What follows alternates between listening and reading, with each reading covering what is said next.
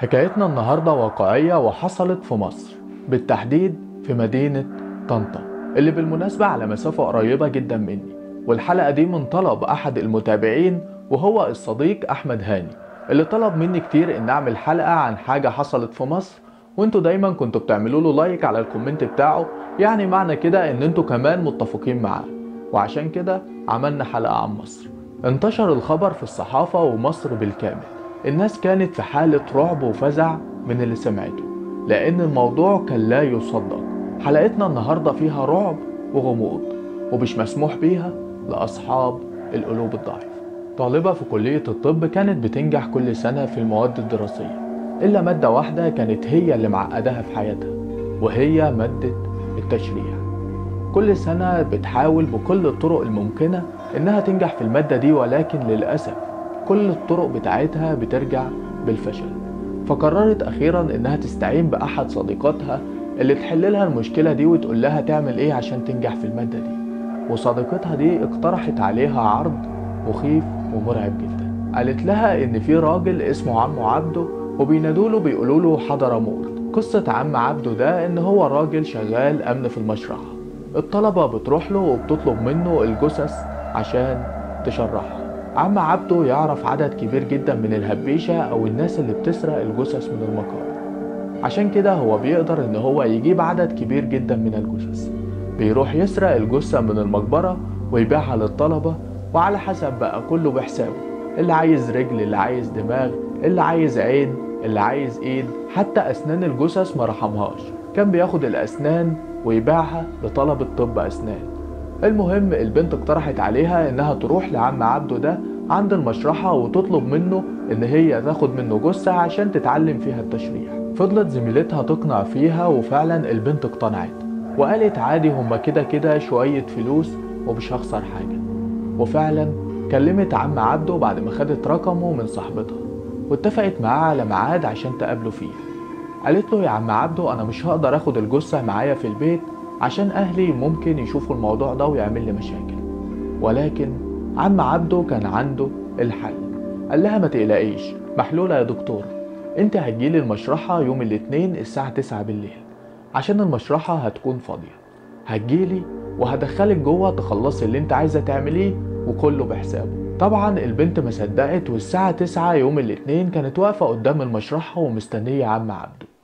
جاي عليها من بعيد راجل ماسك شنطة جلد قديمة جدا وكيسة تانية في إيده من الواضح كده إن فيها حاجة. بدأ الشخص ده يقرب عليها ومرة واحدة وقف قدامها وقال لها إزيك يا دكتورة؟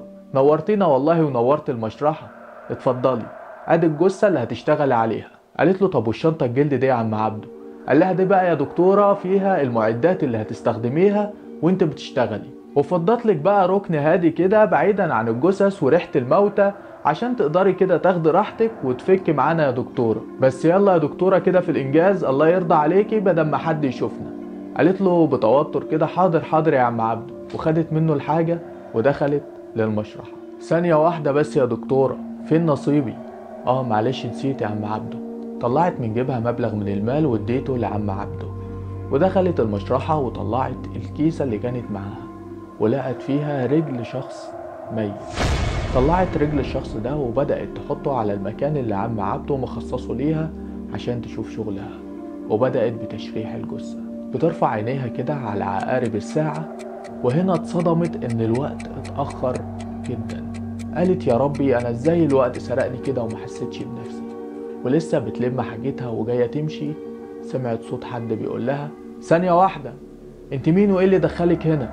دخلت هنا إزاي؟ مين اللي سمح لك؟ طبعا أول ما سمعت الصوت ده اتنفضت من كتر الخوف والرعب بصت كده على الباب بتاع المشرحة وهنا شافت واحدة شعرها أحمر وعينيها سمرة سمرة سواد داكن جدا وبشرتها بيضة ولما أقول بيضة يبقى بياض شديد جدا أو بياض شكله مش طبيعي مش زي البياض بتاع البشر. وماسكة في إيديها شمعة ولابسة بلطو أبيض وعليه بادج مكتوب عليه الدكتورة منى ماضي. أول ما شافت كده بدأت ترتعش من الخوف والرعب. حالة توتر ضربات قلبها بدأت تزيد والخوف بدأ يتملك منها. وفي وسط ده كله عينيها وقعت على إيد الدكتورة منى ماضي اللي كانت ماسكة شمعة منورة في إيديها. بالرغم من إن نور المشرحة بالكامل كان متقاد ده غير النور اللي كان متسلط على رجل الجثة اللي هي شغالة عليها. يعني المكان منور مش محتاج شمعة في إيديها.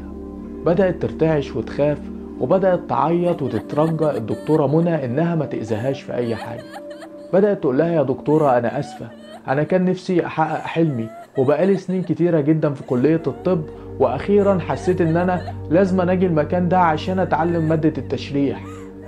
وبدأت تتلكلك كده في الكلام وتتلجلج ومش عارفة تقول لها إيه. ومن الواضح كده إن الدكتورة صعبت عليها البنت وبدأت تتعاطف معاها. ده مش كده وبس. تقررت كمان إنها هتساعدها. قالت لها الدكتورة اهدي خالص اهدي. أنا مش هأذيكي ولا هبلغ عنك إدارة الجامعة. وأقولك كمان أنا هساعدك في المادة دي لحد ما تخلصيها وتخرجي من هنا. ولكن اللي أوله شرط آخره نور. وأنا ليا شرط واحد بس. هو إن محدش أبدا يسمع عن اللي حصل النهاردة ولا تحكي لأي مخلوق عنه خالص. لأن لو ده حصل هأذيكي مفهوم؟ قالت لها في نبرة حزن وخوف كده مفهوم يا دكتورة مفهوم. ومشيت البنت بعد أول يوم. عدت الأيام والشهور وكل يوم مادة التشريح امتحانها بيقرب. وكل ما الامتحان بيقرب كل ما الرعب بيزيد جوه قلبها. لحد ما أخيرا خلاص امتحنت المادة. والخبر الكويس إنها جابت فيها جيد كمان. وأول ما عرفت نتيجتها جريت جري على البيت عشان تفرح أهلها. وهي في محطة القطر وقبل وصول القطر بدقايق تليفونها يرن. كان رقم دكتور عمرو رئيس قسم التشريح. أول ما شافت رقمه قلبها وقع في الأرض. خافت جدا وبدأت تتوتر وقالت ممكن يكون في حاجة غلط في النتيجة.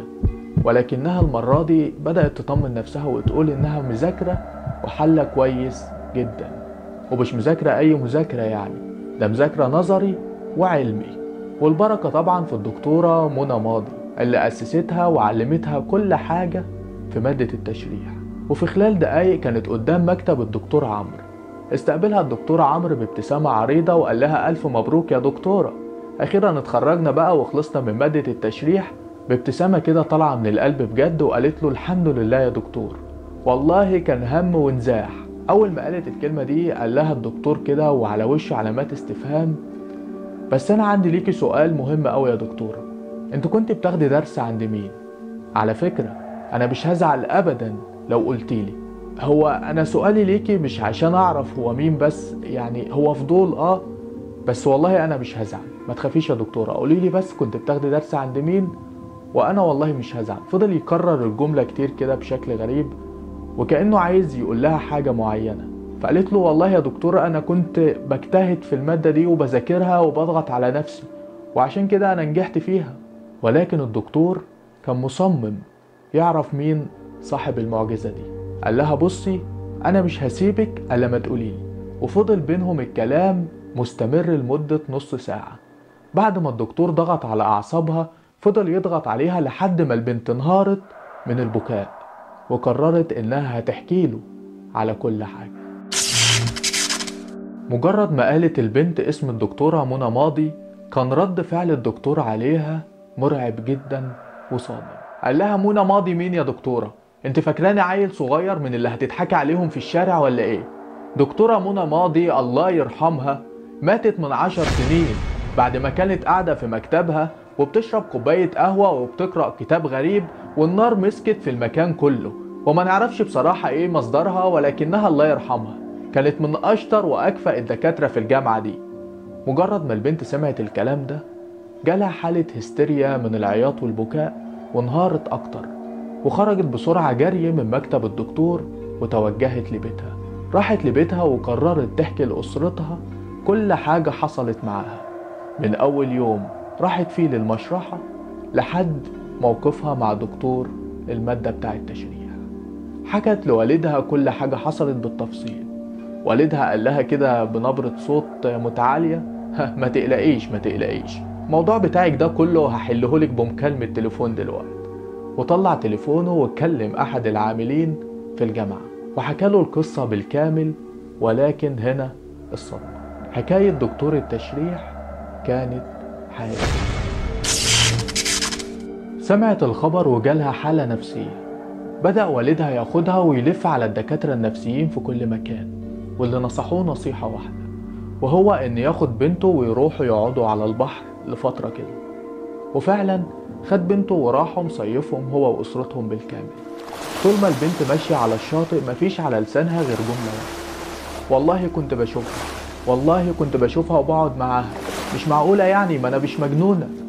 فضلت تردد الجملة دي كتير وهي بتقولها كده خطر على بالها الشمعة اللي كانت في إيد الدكتورة طول الوقت. قررت إن هي مش هتستسلم للمرض والخرافات وإنها هترجع تاني للمشرحة عشان تتأكد بنفسها. وفعلا مجرد ما رجعوا من الرحلة خدت البنت نفسها وجريت جري على المشرحة. وكالعادة عم عبده أو حضرموت قاعد في استقبالها.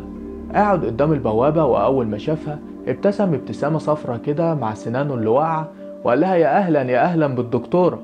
مبروك على النجاح. مفيش الحلاوة بتاعتي بقى؟ طبعا البنت راحت مطلعة ورقة ب 200 وراحت حطها له في جيب القميص بتاعه وقالت له بص يا عم عبده أنا عايزة منك خدمة أخيرة ومش هتشوف وشي بعدها تاني. قال لها والله يا دكتورة كان نفسي أخدمك بس للأسف الحالة ناشفة خالص ومفيش أي جثث النهاردة. قالت له لا لا لا لا أنا مش عايزة جثث خالص. أنا عايزاك بس تسيبني في المشرحة جوه لمدة نص ساعة مش أكتر وما تخليش أي حد يدخل عليا. هو طلب غريب حبتين بس تحت أمرك يا دكتورة. ودخلت الدكتورة للمشرحة في الركن اللي كانت بتقعد فيه دايما. الركن شكله ما اتغيرش كتير نفس الشكل هو هو. بس اللمبة اللي كانت فوق كده وهي بتشرح الجثة دي الحاجة الوحيدة اللي اتشالت من مكانها. المهم قعدت البنت على الترابيزة اللي كانت بتقعد عليها وفضلت تبص في ساعتها وتستنى الدقايق تعدي. الدقايق كانت بتعدي وكأنها سنين طويلة جدا. فضلت مستنية في المشرحة مستنية أي حد يجي. ولكن محدش ظهر. بصت في ساعتها وقالت هما خمس دقايق. لو محدش جه هاخد نفسي وأخرج من هنا. وفعلا عدوا الخمس دقايق ومفيش أي حد ظهر. قررت إنها تخرج من المشرحة. وهي بتلم حاجتها المفاتيح بتاعتها وقعت على الأرض. وطت عشان تجيبها وهنا سمعت صوت حد بيقرب منها. بترفع عينها. لقت رجل شخص واقف قدام دماغها بالظبط وعليها قطرات من الدم. رفعت عينها شوية شافت نفس الشعر الأحمر ونفس العين السوداء ونفس البشرة البيضة البياضها مش طبيعي جدا. بصت كده واتفاجئت إن دي الدكتورة منى ماضي وماسكة الشمعة في إيديها الشمال كالعادة. أول ما شافتها البنت انفزعت جدا ولكنها حاولت تتمالك أعصابها وتهدى الدكتورة كان باين على ملامحها الغضب الشديد جدا وبدأت تقول لها بنبرة حادة أنا مش قلتلك ما تجيش هنا تاني؟ إيه اللي دخلك المشرحة؟ أول ما الدكتورة قالت لها كده البنت بدأت تنهار كده شوية وقالت لها يا دكتورة أنا جاية بس أنا جاية عشان أقولك إن أنا نجحت أنا نجحت في المادة وجاية عشان أشكرك وكمان في حاجة يعني لازم أنا أقولها لك ضروري أنا غلطت غلطت وحكيت للناس عنك ولما حكيت لهم قالوا لي عنك حاجة غريبة جدا. قالوا لي اللي انت يا دكتورة قالوا لي ان انت مت من عشر سنين ومش كده وبس. ده قالوا لي كمان إن انت متي مت محروق.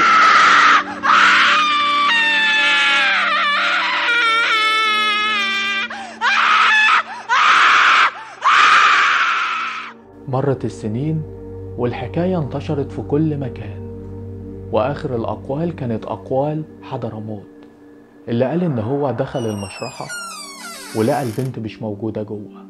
خرج يدور عليها في كل مكان لقاها مغمى عليها بره في مكان قريب من المشرحة. أما بالنسبة لباقي تفاصيل الحكاية فكتبتها صديقتها اللي كانت بتحكي لها كل حاجة.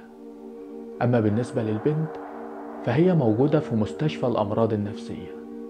ومن يوم ما حصل معاها اللي حصل ما اتكلمتش ولا كلمة واحدة. ودي آخر قصتنا النهاردة. لو أنت شخص جديد على القناة ما تنساش تشترك في القناة وتفعل الجرس عشان يوصلك إشعار بأي حلقة جديدة بعملها. ولو عجبتك الحلقة ما تنساش ال like وما تنساش تقولي رأيك في comment لأنه يهمني جدا. كان معاكم أخوكم عمار محمد وأشوفكم إن شاء الله في حلقة جديدة. سلام يا أبطال.